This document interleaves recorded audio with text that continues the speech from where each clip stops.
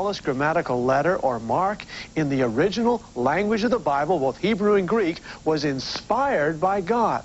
That God not only inspired the sentences, the paragraphs, but the very words and the spelling of those words. Now, in the course of this series on the signature of God, I've shared with you some astonishing levels of evidence. We looked at the historical evidence for Jesus of Nazareth and showed that the historical evidence is overwhelming. We looked at scientific evidence of astronomy and statements about weather in the Bible that were thousands of years in advance of their day. We looked at medical evidence. That was astonishing. Thousands of years in advance of the medical knowledge of the ancient Egyptians. We looked at archaeological confirmations of the Bible. And we also looked at fulfilled prophecy. What I'm about to share with you is beyond any shadow of a doubt the most astonishing, most fascinating, and the most compelling evidence I have ever seen that God inspired the Bible.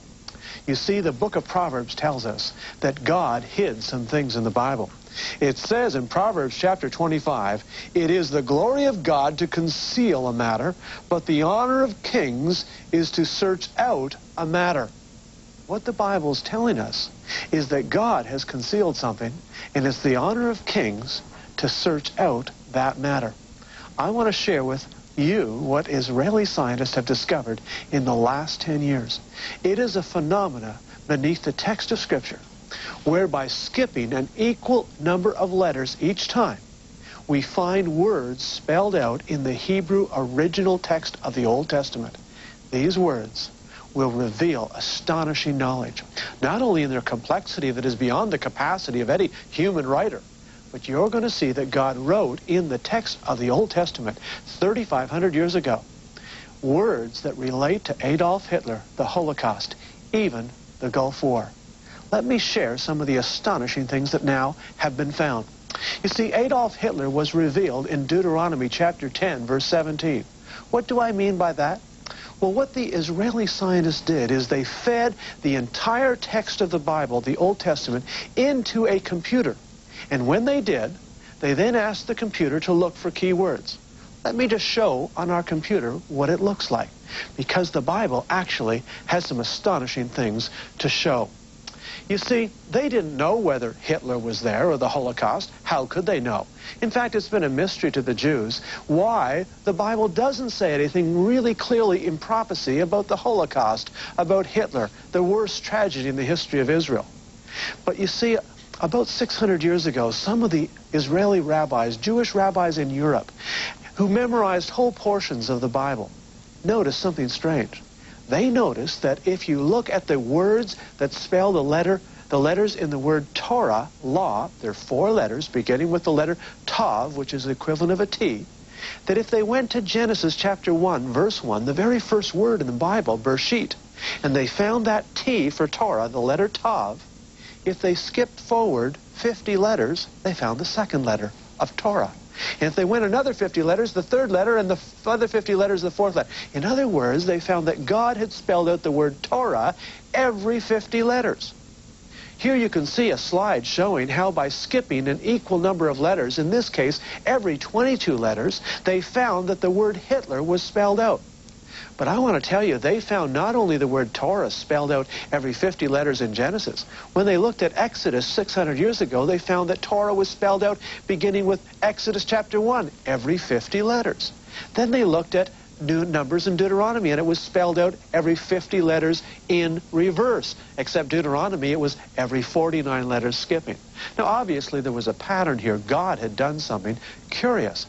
But it remained until the development of high-speed computers before they could begin to check other things.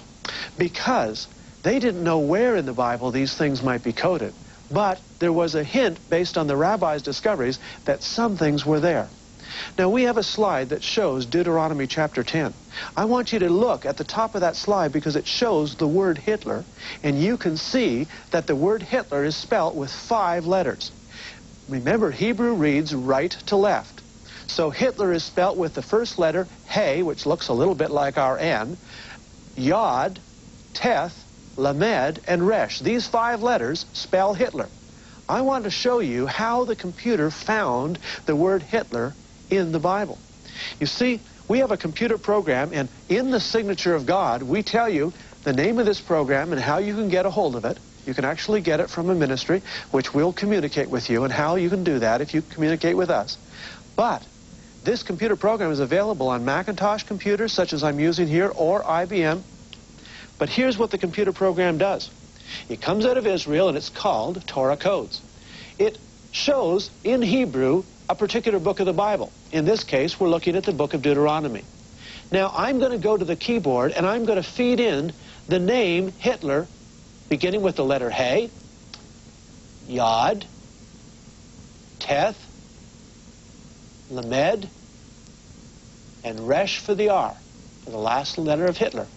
Now, I'm going to ask the computer to look all the way through the book of Deuteronomy, which is called Devarim in Hebrew.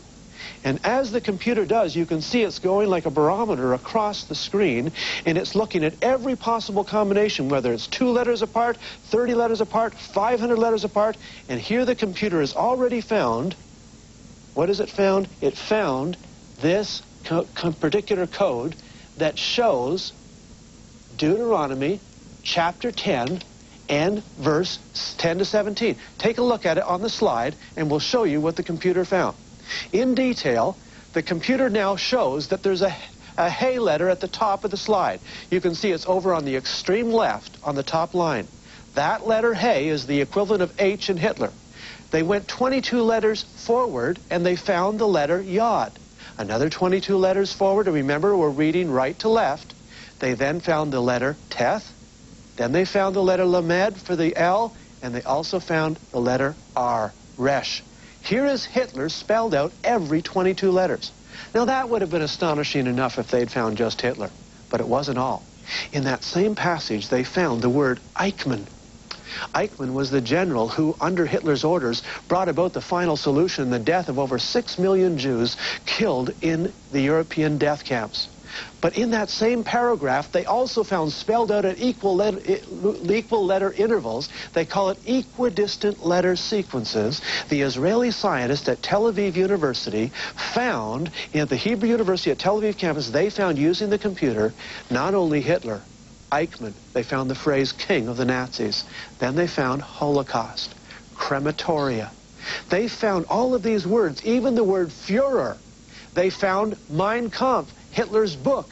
All of these, all in the same place, together with the phrase crematoria for my sons. Then they found the phrase, an evil house will rise up. All of these words related to the Holocaust and Hitler, all in one area in the book of Deuteronomy. Well, these were mathematicians and statisticians, and with their computers, they ran a statistical analysis. They asked the computer, what's the chance that if you have a jumble of letters, how many times would you have to try this experiment by chance alone to come up with all of these names in one place in the Bible? The answer was one chance in three billion. Well, that would have been amazing enough, one chance in three billion. But then they fed in the word Anwar Sadat. And when they fed in Anwar Sadat, what did they find? They found his name, Anwar Sadat in Hebrew, in the book of Genesis. Then they found the word president, gunfire, shot, murder. Then they found the word parade, and he was executed, assassinated at a parade. Then they found 1981 in Hebrew and the name of his assassin. Now, this is absolutely astonishing. How could the Bible contain these codes written at equal letter intervals within the text of the Bible written 3,500 years ago by Moses unless Almighty God told him what to write. It went far, far further than that. They fed in, in the computer, the word French Revolution. They found French Revolution was found in the book of Genesis, together with the name Louis the King. They also found House of Bourbon, his dynasty. They found the phrase Bastille, the name of the prison where the revolutionaries were kept by the royal family. And they even found Marseillaise, the name of the French national anthem invented by the revolutionaries during the French Revolution at this very time. How could these words be there unless God inspired the authors to record not only his words, but the very spelling? You see, when they found this, they submitted an article to the British Royal Statistical Journal.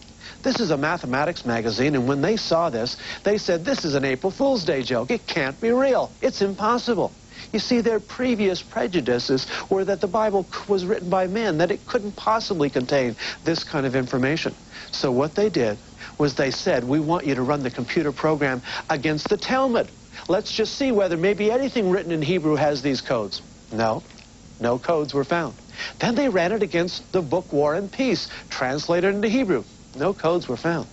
Then they ran it against uh, books like the apocryphal books of 1st and 2nd, 3rd and 4th Maccabees, and the book of Tobit. No codes were found. Only in the Bible from Genesis all the way to Malachi. Now, they began to look and they said, let's take a look and see whether or not biblical things are there. So Jewish rabbinic students said, let's look at Genesis 38. Now, you know that's the story of Judah and Tamar. Judah has a daughter uh, a daughter-in-law who's married two of his sons who were wicked men.